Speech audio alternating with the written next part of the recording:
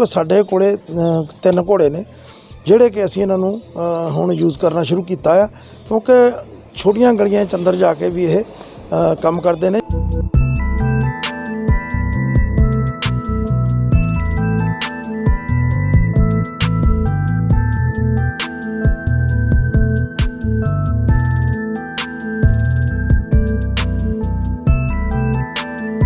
ਆਮ ਤੌਰ ਤੇ ਬੱਚੇ ਜਿਹੜੇ ਨੇ ਜਾਨਵਰ ਤੋਂ ਬਹੁਤ ਡਰਦੇ ਨੇ।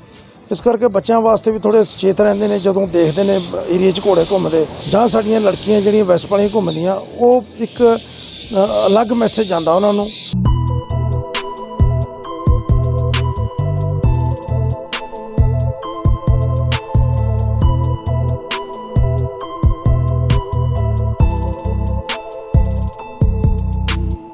ਇਸ ਕਰਕੇ ਸਾਡਾ ਜਿਹੜਾ ਮੇਨ ਕਾਰਨ ਇਹ ਹੈ ਵੀ ਜਿਹੜਾ ਕਰੋਨਾ ਵਾਇਰਸ ਹੈਗਾ ਇਹ ਗੰਦੀ ਬਿਮਾਰੀ ਨੂੰ ਅਸੀਂ ਇੱਥੋਂ ਦੀ ਚੇਨ ਤੋੜਨੀ ਹੈ।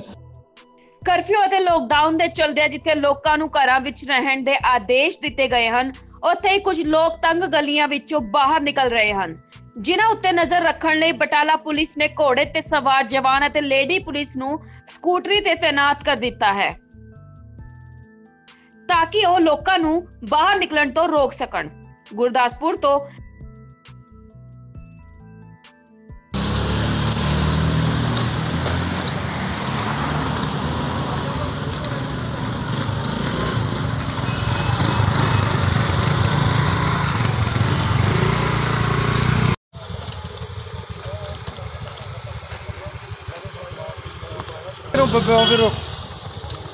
ਹੈਲੋ।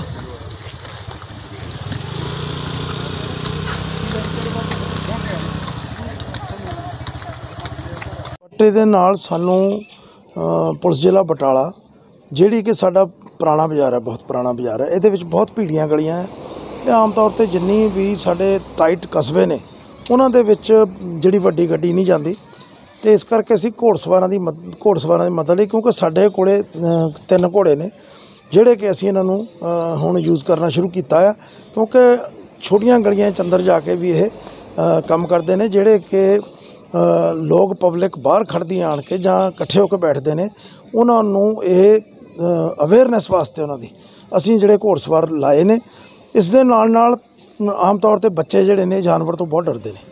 ਇਸ ਕਰਕੇ ਬੱਚਿਆਂ ਵਾਸਤੇ ਵੀ ਥੋੜੇ ਸੁਚੇਤ ਰਹਿੰਦੇ ਨੇ, ਜਦੋਂ ਦੇਖਦੇ ਨੇ ਏਰੀਆ 'ਚ ਘੋੜੇ ਘੁੰਮਦੇ ਜਾਂ ਡਰੋਨ ਘੁੰਮਦਾ ਜਾਂ ਸਾਡੀਆਂ ਲੜਕੀਆਂ ਜਿਹੜੀਆਂ ਵੈਸਟ ਵਾਲੀਆਂ ਘੁੰਮਦੀਆਂ, ਉਹ ਇੱਕ ਅਲੱਗ ਮੈਸੇਜ ਜਾਂਦਾ ਉਹਨਾਂ ਨੂੰ। ਇਸ ਕਰਕੇ ਸਾਡਾ ਜਿਹੜਾ ਮੇਨ ਕਾਰਨ ਇਹ ਹੈ ਵੀ ਜਿਹੜਾ ਕਰੋਨਾ ਵਾਇਰਸ ਹੈਗਾ, ਇਹ ਗੰਦੀ ਬਿਮਾਰੀ ਨੂੰ ਅਸੀਂ ਇੱਥੋਂ ਦੀ ਚੇਨ ਤੋੜਨੀ ਹੈ। ਚੇਨ ਤੋੜਨ ਵਾਸਤੇ ਮੈਂ ਪਿੱਛੇ ਵੀ ਦੱਸਿਆ ਸੀ ਵੀ ਕੋਈ ਨਾ ਕੋਈ ਅਸੀਂ ਉਪਰਾਲਾ ਕਰਦੇ ਰਹੀਏ। ਕੋਈ ਨਾ ਕੋਈ ਉਪਰਾਲਾ ਸਾਡਾ ਸਹੀ ਹੋਊਗਾ।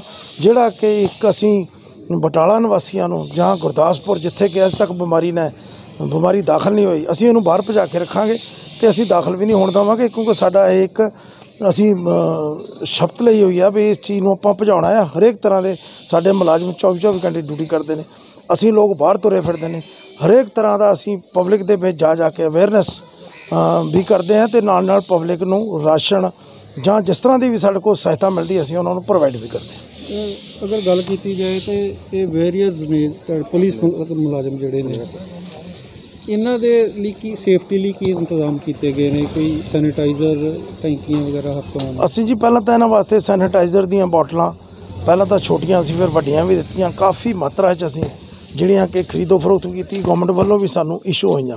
ਪਰ ਫਿਰ ਵੀ ਅਸੀਂ 24 ਘੰਟੇ ਇਸ ਚੀਜ਼ ਦੇ ਵਿੱਚ ਲੱਗੇ ਰਹਿੰਦੇ, ਸਾਡਾ ਜਿਹੜਾ ਸੈਨੀਟਾਈਜ਼ਰ ਦਾ ਜਿਹੜੀ ਖਪਤ ਹੈ ਬਹੁਤ ਜ਼ਿਆਦਾ ਹੈ। ਅਸੀਂ ਫਿਰ ਬੈਠ ਕੇ ਸਾਡੇ ਐਸਐਸਪੀ ਸਾਹਿਬ, ਉਪਿੰਦਰਜੀਤ ਸਿੰਘ ਘੁੰਮਣ ਸਾਹਿਬ ਤੇ ਡੀਜੀਪੀ ਸਾਹਿਬ ਵੱਲੋਂ ਵੀ ਹੈ ਵੀ ਮੁਲਾਜ਼ਮਾਂ ਦੀ ਸੁਰੱਖਿਆ ਵੀ ਆਪਾਂ ਰੱਖਣੀ ਹੈ। ਉਹਦੇ ਵਾਸਤੇ ਸਲਾਹ ਕੀਤੀ ਸੀ ਵੀ ਕਿਉਂ ਨਾ ਆਪਾਂ ਇੱਕ ਟੈਂਕਰ ਆਪਣਾ ਸਰਕਾਰੀ ਉਹਦੇ ਤੇ ਟੈਂਕੀ ਰੱਖ ਕੇ ਇਹਨੂੰ ਟੁੱਟੀਆਂ ਲਾ ਕੇ ਪ੍ਰੋਪਰ ਸਾਬਣ ਨਾਲ ਦੇ ਕੇ ਆਪਾਂ ਕਿਉਂ ਨਾ ਨਾਕਿਆਂ ਤੇ ਭੇਜੀਏ ਕਿਉਂਕਿ ਨਾਕਿਆਂ ਦੇ ਉੱਤੇ ਆਮ ਤੌਰ ਤੇ ਸਾਡੇ ਮੁਲਾਜ਼ਮ ਪੈਰ ਵੀ, ਹੱਥ ਵੀ ਲਾਉਂਦੇ ਨੇ ਗੱਡੀ ਨੂੰ, ਕਾਗਜ਼ ਵੀ ਕਿਸੇ ਕਿਸੇ ਵੇਲੇ ਚੈੱਕ ਕਰਨੇ ਪੈਂਦੇ ਨੇ, ਕਿਸੇ ਕਿਸੇ ਵੇਲੇ ਬੈਰੀਕੇਡ ਨੂੰ ਅੱਗੇ ਪਿੱਛੇ ਵੀ ਕਰਨਾ ਪੈਂਦਾ।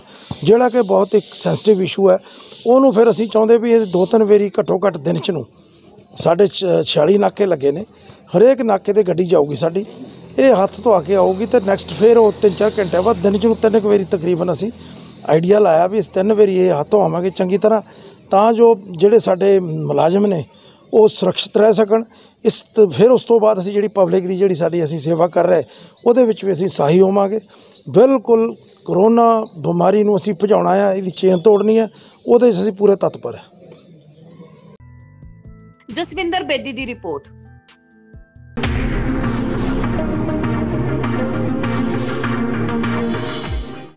ਬਿਲਕੁਲ ਸੱਚ ਜੋਤਿਸ਼ ਇੱਕ ਵਿਦਿਆ ਇੱਕ ਸਾਇੰਸ ਐਸਟ੍ਰੋਲੋਜਰ ਬਾਬਾ ਧਰਮਿੰਦਰ ਜੀ ਜੀ ਦਾ ਸਾਰੀ ਦੁਨੀਆ ਨੂੰ ਖੁੱਲਾ ਚੈਲੰਜ ਕੀ ਤੁਸੀਂ ਜ਼ਿੰਦਗੀ ਦੀ ਕਿਸੇ ਵੀ ਸਮੱਸਿਆ ਤੋਂ ਪਰੇਸ਼ਾਨ ਹੋ? ਕਿ ਤੁਹਾਡੇ ਵਿਆਹ ਵਿੱਚ ਹੋ ਰਹੀ ਹੈ ਦੇਰੀ? ਕੀ ਤੁਸੀਂ ਸੰਤਾਨ ਸੁੱਖ ਤੋਂ ਵਾਂਝੇ ਹੋ? ਕਿ ਤੁਹਾਨੂੰ ਤੁਹਾਡਾ ਮਨ ਪਿਆਰ ਨਹੀਂ ਮਿਲ ਰਿਹਾ? ਕੀ ਤੁਸੀਂ ਲਾਉਣਾ ਚਾਹੁੰਦੇ ਹੋ ਲੋਟਰੀ ਦਾ ਸਹੀ ਨੰਬਰ? ਕੀ ਤੁਹਾਨੂੰ ਨੌਕਰੀ ਨਹੀਂ ਮਿਲ ਰਹੀ? ਕਿ ਤੁਹਾਡਾ ਵੀਜ਼ਾ ਨਹੀਂ ਲੱਗ ਰਿਹਾ? ਕੀ ਤੁਸੀਂ ਵਿਦੇਸ਼ 'ਚ ਪੱਕਾ ਹੋਣਾ ਚਾਹੁੰਦੇ ਹੋ? ਧਨ ਦੀ ਕਮੀ? ਬਿਮਾਰੀ ਤੋਂ ਪਰੇਸ਼ਾਨੀ? ਘਰ ਬੈਠੇ ਬਿਠਾਏ ਹੀ ਕੀਤਾ ਜਾਵੇਗਾ ਤੁਹਾਡੀ ਸਮੱਸਿਆ ਦਾ ਸਮਾਧਾਨ। ਫੀਸ ਕਮ ਹੋਣ ਤੋਂ ਬਾਅਦ।